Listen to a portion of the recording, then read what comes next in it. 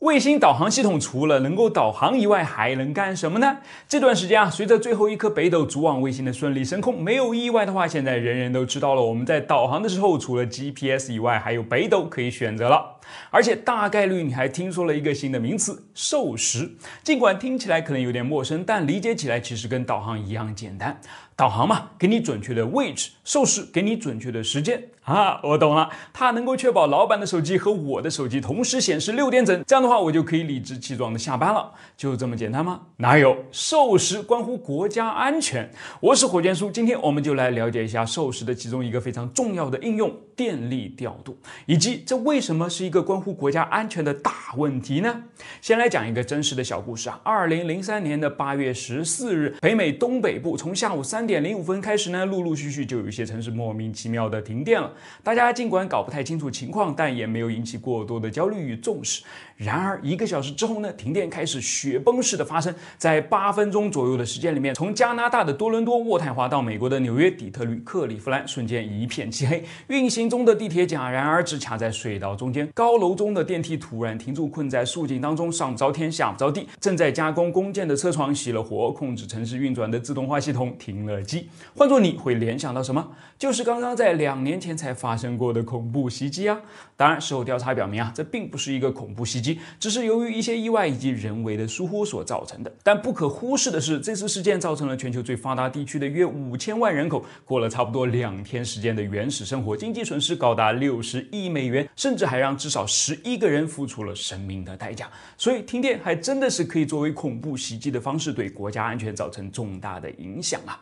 那授时和停电之间有什么关系呢？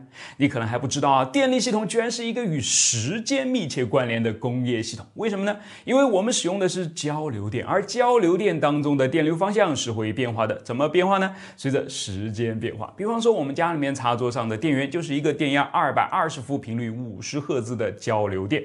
五十赫兹代表着它每秒钟会发生五十个周期性的变化，电流的方向也就在一秒内改变了一百次。如果只有一个发电站、一条输电线和一个用电户的话，这个电究竟是在波峰的时候送过去，还是在波谷的时候送过去，就完全没有有关系了。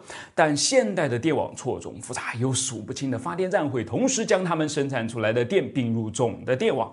你想想看，当它们并在一起的时候，有没有可能发生波形上面的错位呢？当然是有可能的啊。比方说，A 电站正好是在交流电位于波峰的时候并了过去，B 电站错开了一点点，是在波正好爬到一半的时候并进去，而 C 电站则是在波谷的时候并进去的。结果会如何呢？结果就是发生短路，电网瘫痪，陷入停电。为了避免这种情况的发生啊，就只能严格同步并入电网的各个电站的频率了。那各个电站的同步信号由谁来给出呢？就是卫星授时了，这个叫做电网的频率同步。除此以外啊，电网还将面临时间同步的挑战。这又是为什么呢？因为它关乎到电力的调度。如今，电厂、变电站、调度中心几乎都是完全自动化运行的，设备的操作和故障的修复都交由电脑系统来控制，而掌握和记录它们发生的精确时间与顺序则至关重要。要是各个电厂、变电站、调度中心之间的时间不同步的话，可能就会造成工作数据的丢失、系统瘫痪，甚至在严重时还会引发异常的跳闸，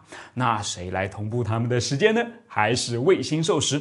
长期以来啊，我国的电力企业的发电、输电、配电网以及计算机网络的时间同步系统，主要依赖 GPS 卫星进行授时。GPS 卫星系统嘛，是由美国军方开发和控制的，可以针对特定区域进行局部性能劣化设置和限制使用。